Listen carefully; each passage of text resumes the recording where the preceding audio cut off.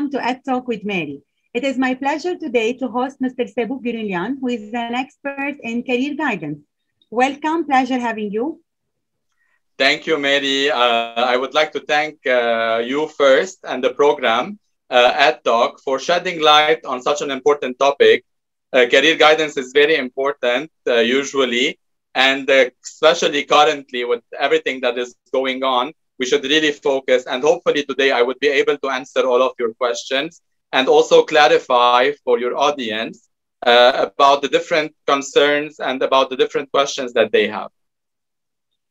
Today is the century of confusion, and uh, learners, uh, students, even teenagers and adults are lost whether they are doing the right thing. Uh, are they supposed to choose a major that they like, or it's a major that they will be good at, or it's a major that they can earn money.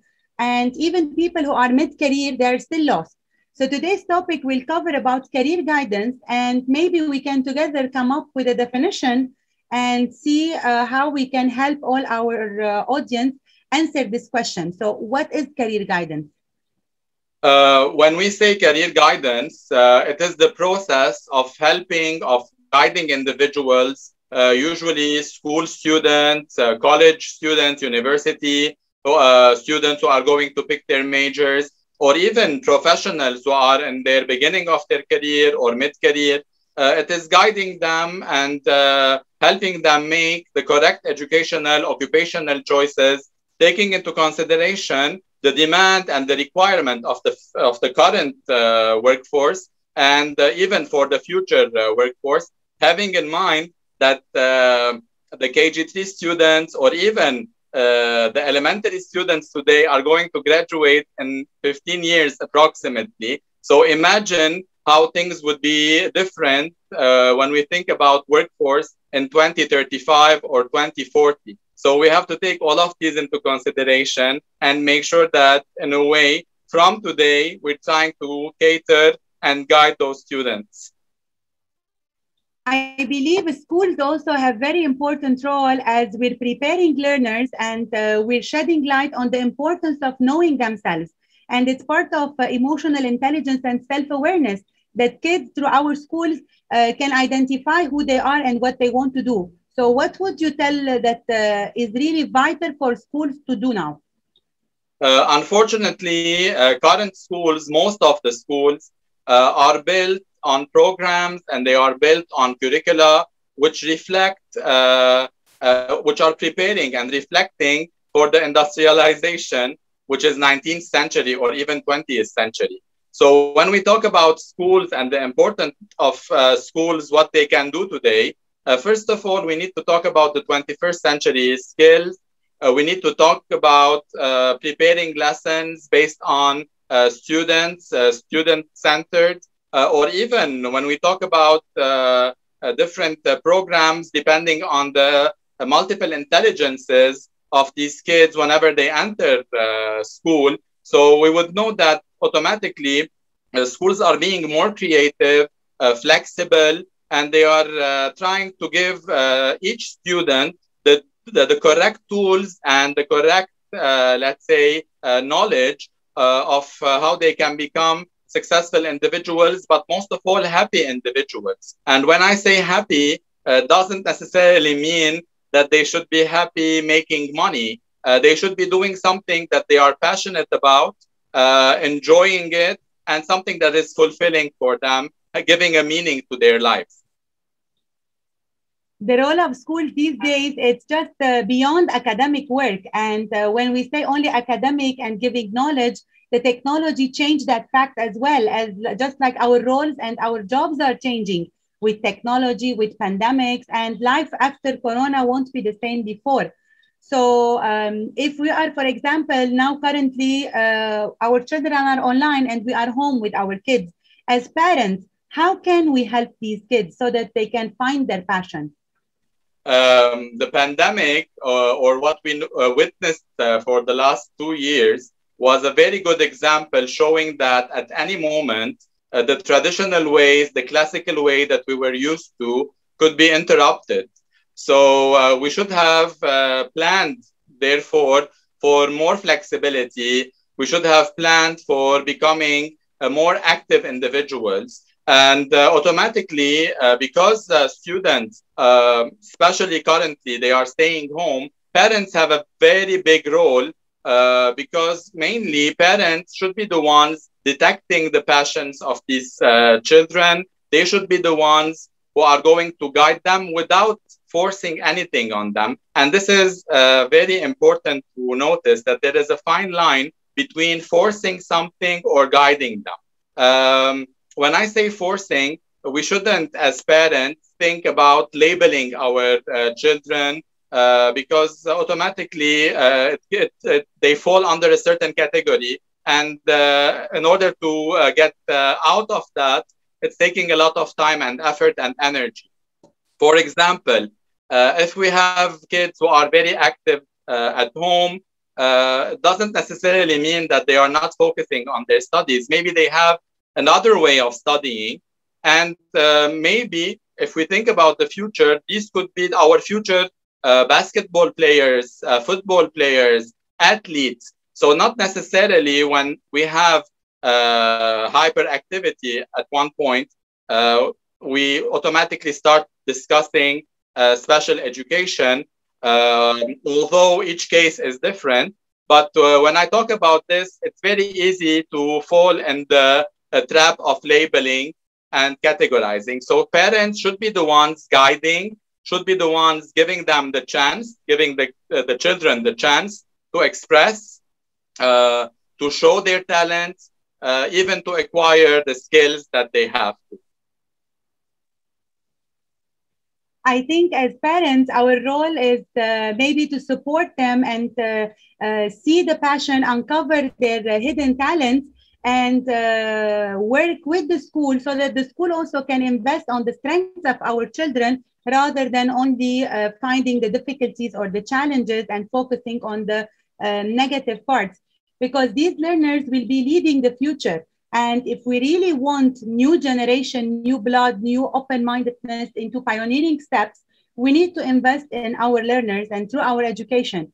However, let's say um, we are adults now and maybe a few years in careers, but we're still not that happy. We're doing things, we're earning salaries, but we're not uh, passionate about what we do. We don't wake up and eagerly go to work. What can we do? Um, well, automatically when we have uh, usually such uh, adults that are in this case, uh, it means that uh, there is something missing and they are not doing something fulfilling or they are passionate about. This is why they say if you love what you do, you won't feel, you won't feel that you're working uh, in your life. So uh, it doesn't mean that they have to do drastic changes. Maybe they are like 80% or 70% on the right track but they are missing that 30%. Uh, in this case, career guidance could be very helpful because automatically it shows them what they are missing. It shows them on uh, which skills they should focus, how they can combine different skills to come up with a uh, competitive advantage to their uh, to their own, something that they are very unique for. And this is how they create their own uh, uh, image, career, even uh, something that uh, parents or something that we, whenever uh, we, we were as kids, we didn't know about, and automatically we grew into it as adults. So this is the time that we start changing and thinking about the years ahead instead of thinking about the years that we have invested in that career. So at any time we can change, we can uh, do some fine tuning in order to cope with what we need and what makes us happy. it's never to start uh, dreaming a new dream wherever our age is uh, however and wherever we are in our career steps. I know that you also have your book keeping the heart in mind where maybe it's more practical tools that uh, learners the adults they can use uh, to uh, identify their strengths their steps. It's a journey i think right? It ends up with major uh, careers especially learners uh, the way that uh, we made the book the way that I wanted the book to be is like a pathway. Uh, it starts with self discovery, knowing ourselves, knowing our element, our passion. And therefore, uh, we have several tasks from a practical point of view uh, anyone who can uh, uh, take the book would notice that there is different, there are different tests that he or she can do. And automatically from the results, the book will guide them through practical steps of how to be work ready, how to have those skills that uh, they might be missing. So uh, automatically, it's like a guideline and uh, eventually talking about different careers. Um, when we are kids, usually uh, we talk more about careers, community work uh, uh, in schools. We notice that uh, from KGs, we start asking our kids, let's say, what do you want to become? Uh, what do you want to do when you grow up? But unfortunately, those questions disappear whenever we are in grade 11, 10, 12. Sometimes, whenever we are at the university, uh, we don't have such questions anymore. So, this is why the book is there in order to help individuals who are still having questions, still lost, that don't know how to uh, take a certain path in their lives. So, the book will help them through that journey. Um, here, I would like also to say that even once we find our uh, journey or our path, we can still uh, bring changes and do new things because it's never too late uh, to really pursue even an old dream and start finding passion and motivation in that. Uh, at the end, I would like to ask you, what would you tell uh, people who are watching you now? Uh, people who would like to know what they can do next, what to do, what to focus on. Uh, well, um, definitely, I would ask people to start doing a kind of uh, self uh, assessment uh, so that they can start knowing themselves what they want to do because it all starts there. It's not about what my parents want me to do, my neighbors. It's about what I want to do with my life, with myself.